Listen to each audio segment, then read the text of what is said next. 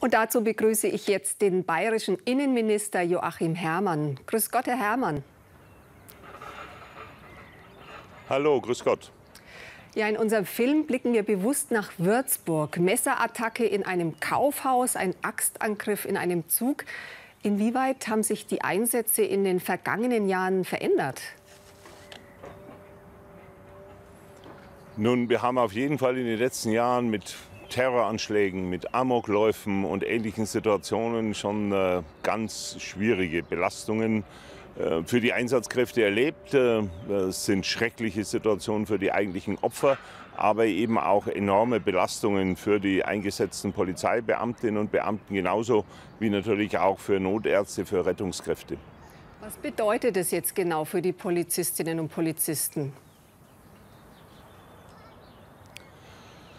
Nun, zum einen, wir müssen uns in der Ausbildung noch stärker darauf vorbereiten. Das sind wichtige Themen. Das ist Gott sei Dank nicht der ganz normale Alltag, nicht das, was äh, einem Polizeibeamten, einer Beamtin jeden Tag begegnet. Aber alle Kolleginnen und Kollegen müssen dafür vorbereitet sein, ausgebildet sein.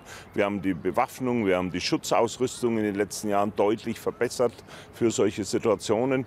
Aber es kommt dann natürlich auch äh, der mentale Umgang damit dazu, äh, die entsprechende auch äh, psychologische Vorbereitung und auch der entsprechende psychologische Dienst der Polizei, der zur Verfügung steht, um solche Situationen dann auch nachzubereiten. Das Augenmerk in der Ausbildung liegt ja stark auf den körperlichen Fähigkeiten. Kommt da vielleicht manchmal die seelische Komponente zu kurz? Nun, wir haben in der Ausbildung sehr wohl auch äh, solche psychologischen Elemente. Wichtig ist mir da auch natürlich auch der Einsatz der Polizeiseelsorger, die ja in das Ausbildungsprogramm eingebunden sind, aber dann gegebenenfalls auch zur Nachbereitung immer wieder zur Verfügung stehen, also wirklich in der ganzen Breite. Und trotzdem ist es natürlich auch wichtig, dass die Kolleginnen und Kollegen eigentlich auch mit äh, äh dem nötigen Selbstvertrauen in solche Situationen gehen und das Selbstvertrauen wächst, wenn man gut ausgebildet ist, wenn man sich das selbst zutraut, mit einer solchen Situation auch fertig zu werden. Die Opfer und deren Angehörige stehen natürlich im Mittelpunkt. Dann wird auch immer viel über den Täter berichtet. Inwieweit legen Sie das Augenmerk auf die Helfer, also die Polizistinnen und Polizisten? Muss da vielleicht doch noch mehr passieren, jetzt schon in der Ausbildung, schon in der Auswahl der angehenden Polizisten?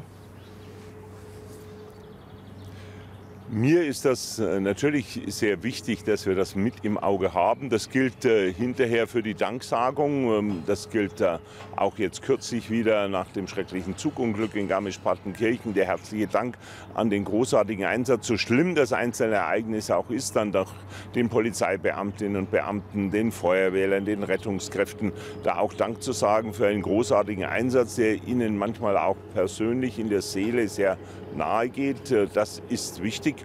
Äh, und ich denke, dass wir da auch insofern ganz gut äh, vorangekommen sind. Trotzdem wissen wir immer, aus jedem Einsatz, aus jeder solchen schrecklichen Erfahrung müssen wir immer wieder lernen.